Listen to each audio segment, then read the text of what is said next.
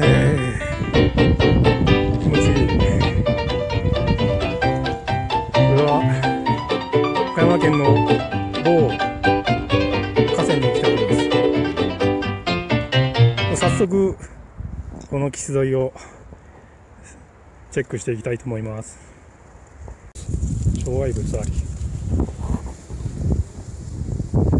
こういったちょっとした岩の周りもチェックしていきたいと思います。なんか見てほしいなうわものすごい小さいのなんか何の吉登りっぽい。魚かと思ったらどうやらなんかのこう幼虫っぽいですね。なんだろうこれ。ヤゴ？ヤゴにしてはちょっと変わった形。ちょっと手のひらに出してみましょう。あー逃げるな逃げるな。逃げるなよ。逃げるなよ。逃げるなよ。こんな感じ。うん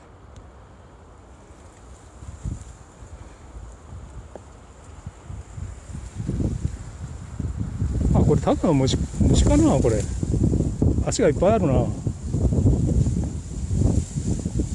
分かる人教えてください。おとなしい。まあちょっと話したい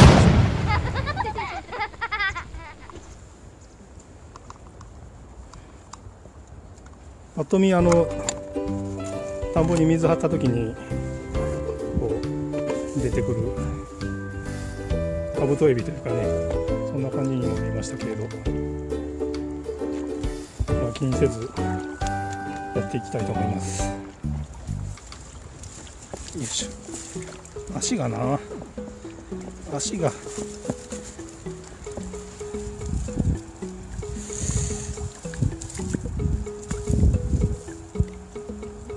何も入ってないな。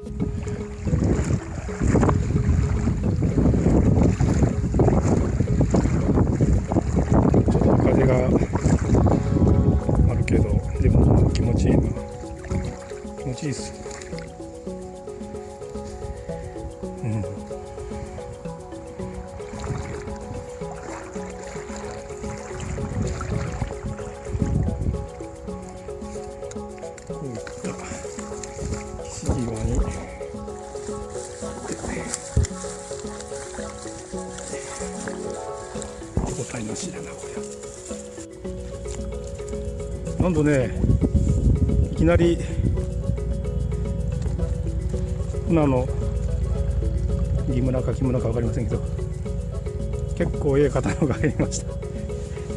船でも嬉しいな。それはちょっとケースに入らないんでケースに入らない。水でちょっと冷やして。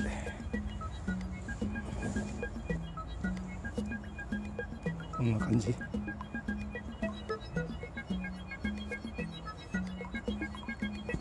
船とああと一匹口ぼさかなんか？口ぼさかな？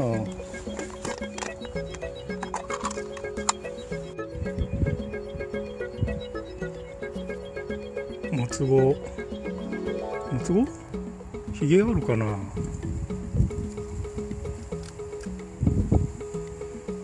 つごか。つごもろこの系統か。この辺の種類図鑑見てね細密に調べてみないと。わからないんだけどひげひげはない？ついてない？ひげはついてないっぽいですね。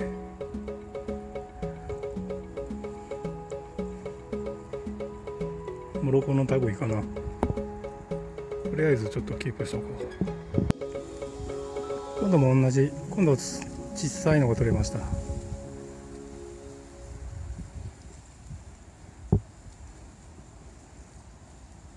かわいいな。横から見たらね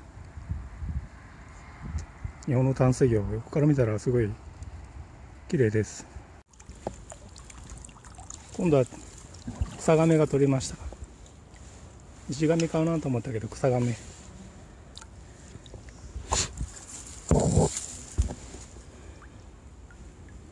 ね。もともとは中国ですけどでももう今はもうほとんど日本のカメラみたいじゃん。あ匂いを出してますね。臭い匂いを。この臭い匂いで外敵を追い払う。いるかな。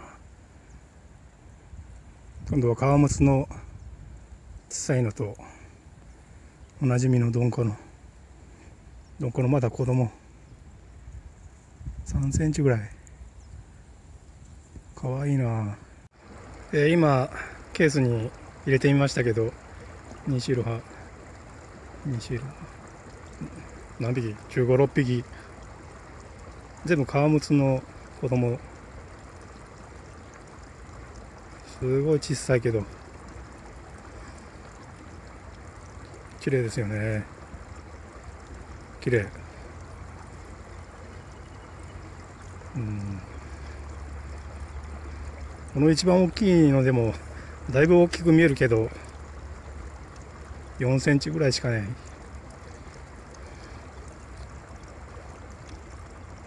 逃がしてあげよう。食べれんもんな。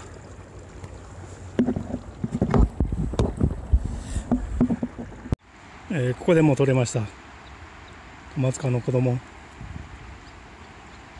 遅い。遅いしなんか全体的にやっぱり綺麗。気のせいかな。この間撮ったやつよりも全然綺麗な透き通るような透き通るような美しさです。今度はちょっとサイズアップしました。ピント悪いな。どうがいいんかな。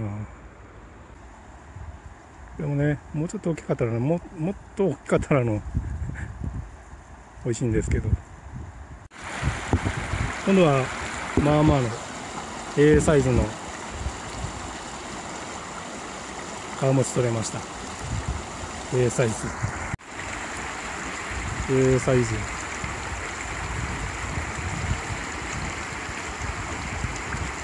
でサイズっても小さい。普通に考えたら小さいですけど。でも今日取った中では一番ビッグワンです。本日のビッグワン。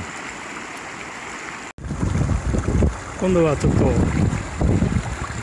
変わったやつがやっぱり川の魚っていう流れにいる魚っていう麦つくで取れました。これも美味しいんですよね。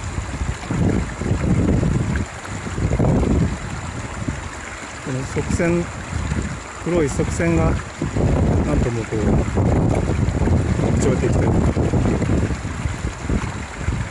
え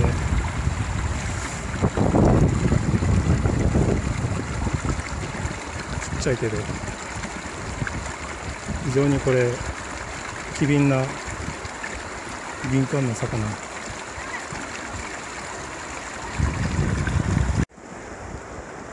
今度はカマツカの大きいのが取れました。これは食べれる。食べれるサイズ。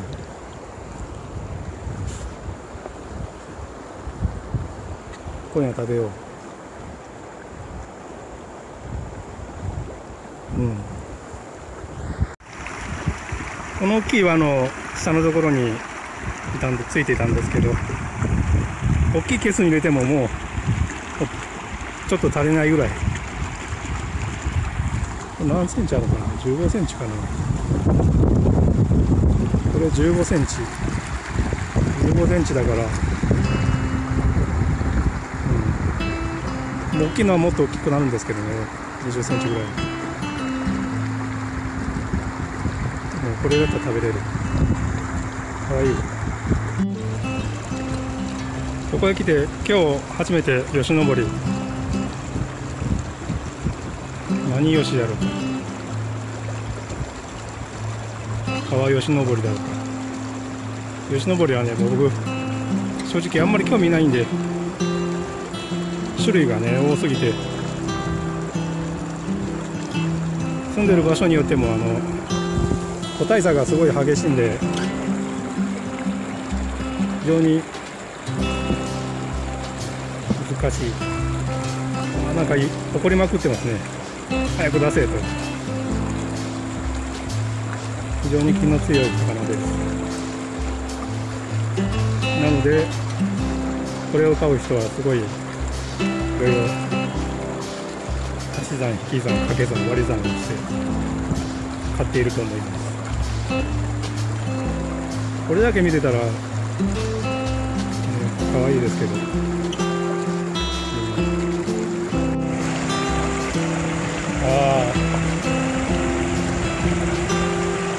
ちゃいけどまあそこそこ楽しめました。ぶっちゃけた話うちのすぐ近くで取れるものばかりなんですけどそれでもやっぱり嬉しいですね。嬉しい。逆光かな。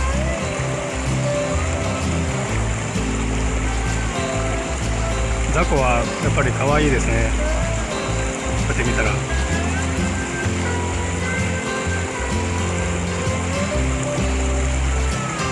ん。綺麗。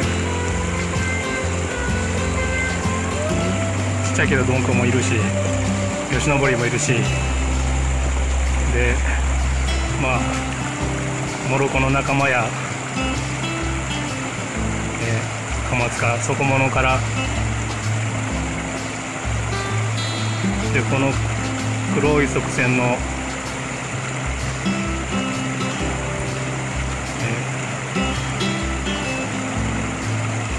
ー、こいつもこう底物本来そこばっかりつついてるんですけどこうしてみたら